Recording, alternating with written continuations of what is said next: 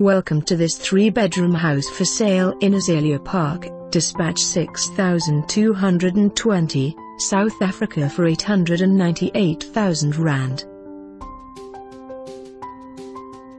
This spacious house is situated in Azalea Park, Despatch. It is fully enclosed with electric fencing. When you enter the front gate the two garages is on your left-hand side, not enclosed with the garden. The pool is in the front garden with an open lapa and an outside braai. You enter the house into a spacious living area on your right hand side you step up into a big landing with beautiful dark mahogany cupboards, to your left is the three bedrooms, fitted with cupboards and carpets, and one bathroom.